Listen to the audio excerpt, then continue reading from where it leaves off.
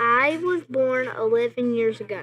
My name is Maddie. I have worked in the mills for two years now. We had lots and lots of money, but my dad was shot and killed a year ago.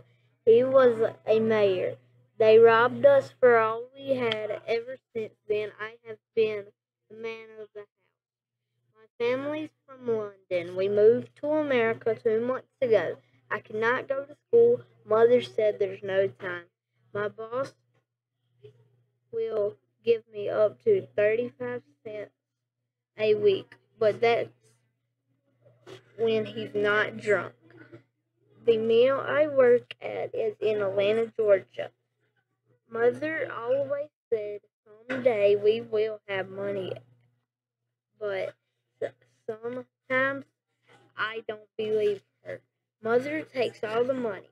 We mostly eat bread to eat, but it's good enough to provide for the family.